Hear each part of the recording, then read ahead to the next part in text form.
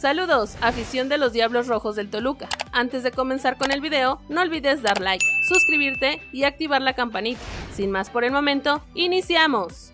Toluca presenta sus nuevos uniformes para la Apertura 2022. Los Diablos Rojos del Toluca se reforzaron con todo para este torneo Apertura 2022 de la Liga MX y están listos para pelear por los primeros lugares, para lo cual lanzaron un par de uniformes, a la altura de sus expectativas. A través de sus redes sociales, el Chorizo Poe presentó de manera oficial sus jerseys de local y visitante para la siguiente campaña, los cuales son en los tradicionales colores rojo y blanco. La camiseta de local es completamente en color rojo, con el cuello tipo V y los detalles de patrocinadores y el escudo en color blanco. Por otro lado, el de visitante tiene los colores a la inversa, pues es completamente blanco y tiene los detalles en color rojo. Los Diablos Rojos por fin pudieron estrenar su nueva equipación que generó un gran revuelo, ya que hace un par de semanas fue robada una carga que contenía alrededor de 23 uniformes del equipo para la apertura 2022. Por otro lado, Toluca no se olvida de Dinson Cobani y aún esperarán por su fichaje.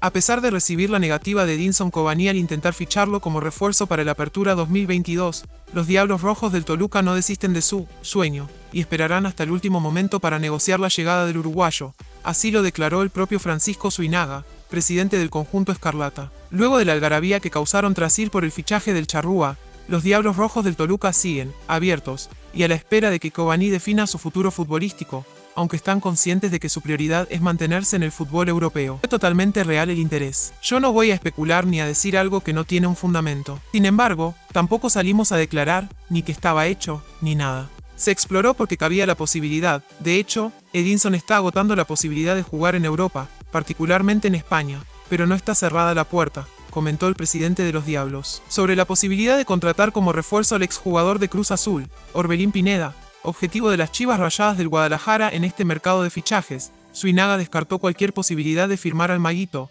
pues el plantel de los choriceros tiene cubierta totalmente esa posición. Lo de Orbelín, cuando menos de nuestro lado, está descartado. Se exploró, pero la posición se encimaría con algunas personas que ya están, puntualmente con Leo. No digo exactamente la posición porque puede jugar en muchas, pero hoy nosotros nos hemos bajado de esa pugna y se acabó, finalizó en entrevista.